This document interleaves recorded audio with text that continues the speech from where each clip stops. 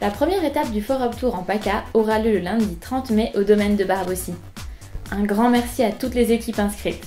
Nous sommes déjà complets, mais vous pouvez dès à présent vous inscrire pour l'alliance du 13 juin au domaine de Manville. Pour ce faire, contactez votre pro ou la PGA PACA. A très vite sur le Forum Tour